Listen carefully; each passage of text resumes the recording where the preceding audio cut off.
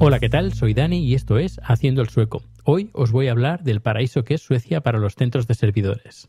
Y es que tenemos en Luleo el mayor banco de datos de Europa y que actualmente está gestionado por Facebook. Para que os situéis geográficamente, la población de Luleo está situada a 725 kilómetros al norte de Estocolmo, muy cerca del Círculo Polar Ártico, donde su clima es perfecto para coger este tipo de instalaciones. A día de hoy, eh, Facebook tiene en Luleo 28.000 metros cuadrados con decenas de miles de servidores, procesando 282 petabytes de información diaria y por donde pasan los datos de 282 millones de usuarios europeos.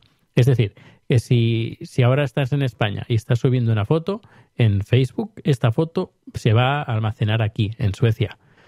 Como os podéis imaginar, toda esta infraestructura de servidores requiere una importante cantidad de energía, una energía que además en este caso proviene de un 100% de energías renovables, exactamente de una central hidroeléctrica que pasa por el río de esta misma población, siendo así la instalación de servidores más sostenible que hay hoy en día en el mundo. Para que os hagáis una idea del coste energético, la energía que consume Google, Facebook y Apple juntas es la misma que se consume en todo el Reino Unido. Otro dato importante es el clima de la zona, ya que sus bajas temperaturas permiten ahorrar hasta un 70% de energía en comparación a otras instalaciones en lugares más cálidos. Y es que, tal como dice la viceconsejera de la Universidad de Luleo, todo lo negativo de Suecia se ha vuelto en positivo, es decir, las bajas temperaturas y el acceso remoto. Que digo acceso remoto, pero es físicamente, pero en cambio eh, eh, tenemos aquí una excelente infraestructura y la, conexión a Internet es muy buena. La, instalación de los servidores de Facebook se ha diseñado bajo licencias abiertas, eh, open source, haciendo que otras compañías también puedan copiar su diseño. Otras compañías tecnológicas también están apostando eh, por los países nórdicos para instalar este tipo de servidores, como por ejemplo Google eh, tiene una instalación muy parecida en Finlandia y Apple la va a hacer en Dinamarca en Jutland.